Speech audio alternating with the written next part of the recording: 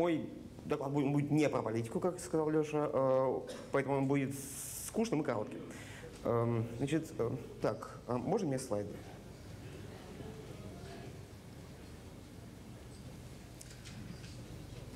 Так, э, значит, речь пойдет про такую инициативу, как Segment Routing.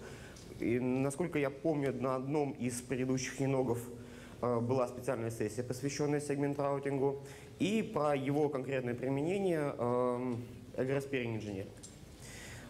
Так, где у меня? Вот этим, да? Отлично. Так, эм... так э, наверное, мне стоит напомнить просто в двух словах, э, что такое segment routing. Segment routing – это форма source-раутинга. То есть, когда мы задаем путь пакета через сеть э, некоторым явным образом и несем эту информацию э, непосредственно в самом пакете. Эм, сейчас, на настоящий момент, э, специфицировано две опции реализации сегмент-раутинга в датаплейне. Это его реализация с помощью MPLS и с помощью эм, IPv6. Его реализация с помощью MPLS крайне простая и элегантна. Э, вообще, э, о чем э, сегмент раунинг? Мы к каждому пакету привешиваем специальную форму заголовка, в которой перечисляем последовательность так называемых сетевых сегментов, через которые э, должен пройти э, наш пакет. Это, этим сегментом может быть э, отдельный линк, этим э, сегментом может быть э, отдельный узел или там что-то еще. Э, соответственно, заголовок э, соус-райтинговый содержит просто перечисление, последовательное перечисление этих самых сегментов.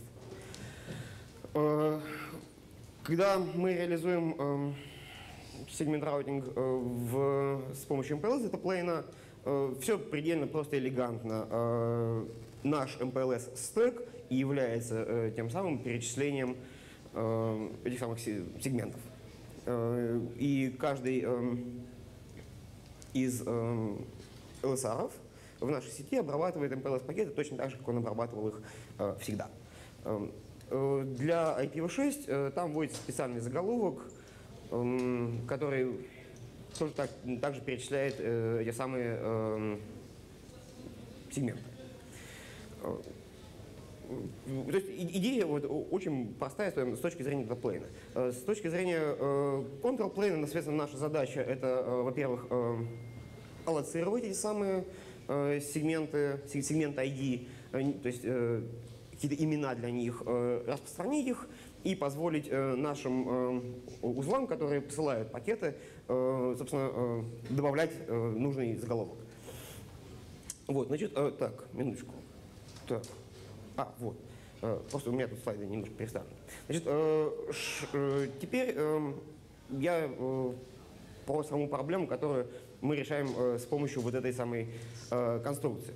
У нас есть наша сеть, наша автономная система, и у нее есть внешние соединения, пиринги, апстримы, клиенты, неважно. Эм, мы должны делать выбор точки выхода, мы должны это делать э, гибко, мы должны это делать, эм, э, разделяя непосредственно э, полиси и непосредственно реализацию этого, что ведет нас к некоторой централизованной архитектуре, когда мы должны разделить, не реализовывать decision process на каждом узле, а мы там, должны его централизовать и принятые э, в решения распространить в наши узлы, э, которые являются источниками трафика. Это могут быть просто ингресс-узлы, когда к нам поступает какой-то внешний трафик, или это наши узлы-источники контентного трафика, как, например, в, в нашем случае. Так. У этого решения три компонента. Первое. Э, для того, чтобы э, принимать это самое роутинговое решение, нам нужно э, взять нашу внешнюю топологию, то есть информацию о наших э, линках к, пирам, о наших э, BGP-сессиях э, э, и э, передать их в некоторый наш э, централизованный контроллер, который принимает э, э, роутинговые решения. Э, э, Вот в этом моменте э, мы как раз и аллоцируем эти самые сегменты, по, по которых, про которые я говорил до этого. Э, Естественно, мы должны их аллоцировать, и мы должны передать их в этот самый централизованный контроллер. Второе, непосредственно сам, само принятие решения с помощью какой-то, возможно, дополнительной информации и, и непосредственное распространение принятого э, роутингового решения на наши узлы источники трафика. Э, Так, вот э, шаг номер раз. Это аллокация segment ID. То есть тех штук, которые мы записываем в пакет, когда мы задаем source route. В данном случае мы используем три вида э, segment ID. Э, Peer node seed э, – это ID, э, идентифицирующий нашего конкретного пира. Э, Peer adjacency seed э, – это э, SID, идентифицирующий наш конкретный линк. Э, Почему э, они разные? Э, Понятно, у нас э, стандартная конструкция, э, несколько SMP-линков, BGP-сессия одна, то есть пир один. Но мы хотим быть достаточно гибкими, чтобы мы могли выбирать один из линков, один из параллельных линков к данному, к данному, к дан- к данному пиру. Поэтому, когда у нас есть, например, два ECMP-линка э, к одному пиру, мы аллоцируем, соответственно, три сида. Peer adjacency seed на один линк, peer adjacency seed на второй линк и peer node seed на, на одну BGP-сессию. Э, Соответственно, и э, третий тип — это peer set seed. Мы э, с помощью локальной конфигурации на нашем узле можем определить некоторое множество эм, peer node сидов или э, peer adjacency сидов э, и э, ссылаться на него как на нечто одно целое.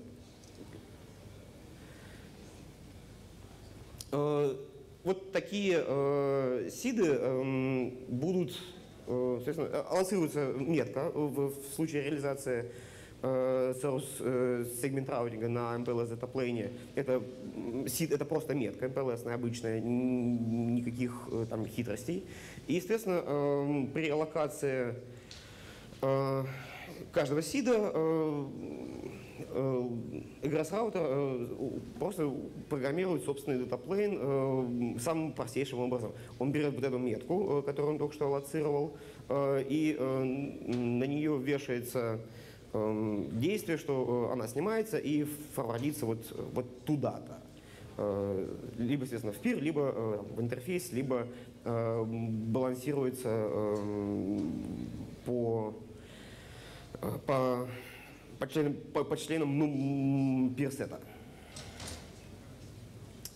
Э, Вот, собственно, э, то, что я рассказал. Э, Сид э, э, аллоцируется, когда мы, у нас устанавливается BGP-сессия. Вот второй пункт, это я тоже уже рассказал. Э, Ну и да, соответственно, персет не аллоцируется автоматически. Для персет необходима локальная конфигурация. Дальше. Эм, Когда узел, э, эгресс, эгресс узел э, аллоцировал эти самые сиды, он должен распространить, э, доложить об этой информации этому самому централизованному контроллеру. Э, Для этого есть э, отдельный драфт. Эм, Это модификация BGP-LS, э, BGP Link State. Э, Здесь мы от эм, узла, э, от эгресса узла доносим информацию о том, что у нас есть, во-первых, э, вот такие пиры и та- и такие линки. Они имеют э, такую-то полосу. а Мы доносим информацию об э, SLG. Э, Ну и, естественно, там же мы доносим информацию о только что аллоцированных сидах. Дальше. В, в этом самом централизованном контроллере, который принимает роутинговые решения, он может принимать во внимание, на самом деле, очень много всякой разной информации он, э, ну, понятно, он должен принимать э, определенную информацию, то есть э, ту, которую мы донесли от него, от эгресс-узла, вот, потому что только что рассказал про сами СИДы и нашу внешнюю топологию. Он должен знать про то, что нам наши соседи анонсировали, то есть про про, про, про все BGP пути, которые, которые у нас в принципе есть и из чего мы можем выбирать. Э, для этого э, нам нужно совершенно обычный э, IBGP, то есть здесь ничего не перестраивается, ничего нового не стандартизируется. Кроме того, он может принимать во внимание, должен принимать во внимание внутреннюю топологию, которую он точно также получает с помощью того же BGP-LS. Эм, также он может принимать во внимание эм, матрицу трафика, то есть когда мы знаем, э, что вот э, отсюда нам нужно столько-то полосы туда, не знаю, все что угодно, еще, э, не знаю, там, текущее измерение SLA, все что угодно. То есть любая другая дополнительная информация, которая вам поможет принимать правильное решение. Само непосредственно принятие решения роутингового мы не стандартизируем. Э, и третий, последний шаг. Э, принятое роутинговое решение нужно распространить на э, ингресс-узлы.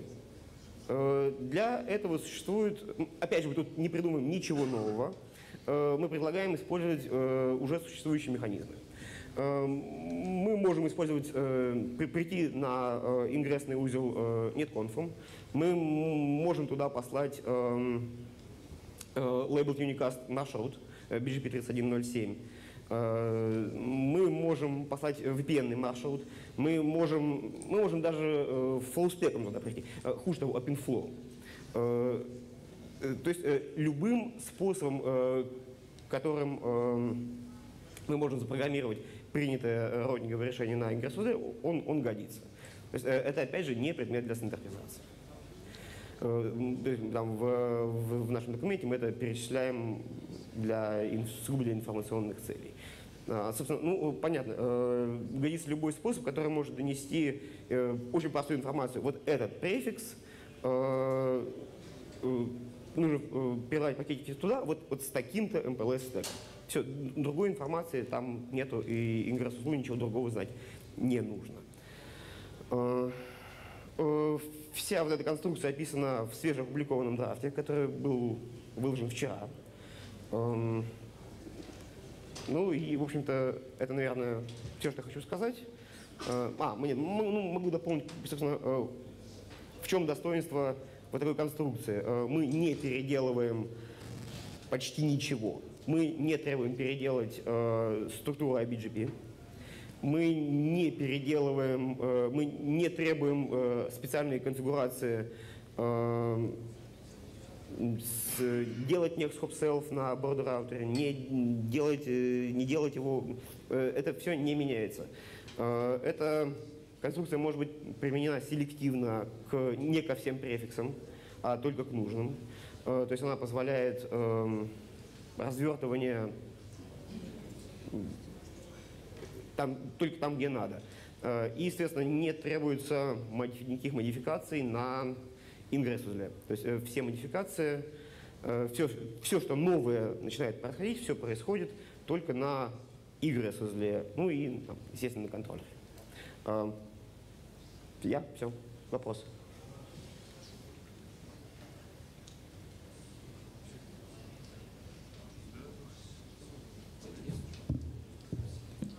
Так, прошу. Вот микрофон есть.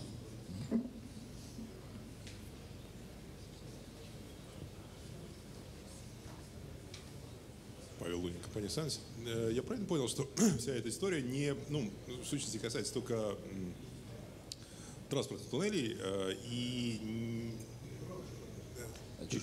А, логики, логики транспортных туннелей и, вообще говоря, в общем случае не предполагает изменения глубины э, PLS стека форвардинга. Э, Нет, э, там э, добавляется, по крайней мере, а, одна метка в дополнение к тому, что мы...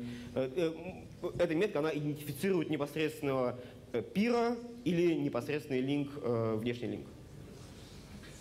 При- то есть при этом а, а, обычные транспортные туннели в э, MPLS ядре, они так и сохраняются, да? То есть Нет, э, э, э, эта если, метка если обычная, ты которая хочешь, ты можешь сохранить. Но на самом деле лучше бы ты сделал э, внутри э, тот же самый сегмент раутинг, но э, только внутренний. Но на самом деле, насколько я понимаю, это развязанная история. А? Э, Это, это, это, это разные истории. э, Просто вот, вот эта история, она просто всем хорошо интегрируется. Если хочешь, ничего не мешает это интегрировать с твоими обычными эм, RCP signal тон- тоннелями. Это, здесь нет никакого противоречия. По- Спасибо. Да. Даниил, приветствую. Короткий вопрос. А в чем э, А- а кто? принципиальные выигрыши, отличия от RSVP TE Explicit Pass? Э, Во-первых, э, RSVP TE Explicit PAF — это з- трафик инженеринг внутри нашей сети. Э, Эта конструкция позволяет нам задать э, внешний выход, то есть идентифицировать линк, который между нами и соседом, который э, в, в RSP фигурировать не может. Спасибо. Данил, короткий вопрос на самом деле. Э, Коллеги, ну прошу по- по- прощения, но при, при это самое, представляйтесь, не все знают. Представился. Так э, вопрос вот какой. Э, э, Стандартная схема с destination раутингом имеет кучу, конечно, недостатков, но достоинство то, что в любой точке маршрутизации решение принимается по самой свежей информации. Проблема source раутинга известная в том, что пакет, получив информацию о source раутинге, дальше во время своего пути никак не апдейтится на тему того, что что-то в этот момент могло поменяться. Вот здесь это бу- будет это свойство или оно как-то обойдется? Э, э, оно э, обойдется в некотором лимитированном варианте. Поскольку времени у меня было всего 15 минут, я вообще вопрос про Fast Route пропустил.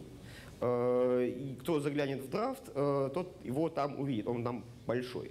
То есть на каждом egress-узле мы можем инсталлировать дополнительный запасной путь. То есть, дойдя до э, egress-узла, э, и если что-то там поменялось, э, вот уже больше некуда форвардить, э, мы можем э, уйти на запасной путь, э, который уже запрограммирован э, там в конце, в конце тоннеля.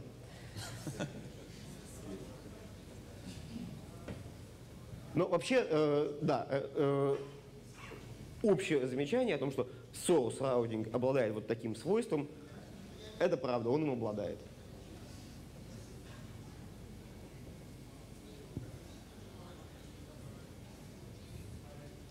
Коллеги, тишина тише, чем во время выступления, честное слово.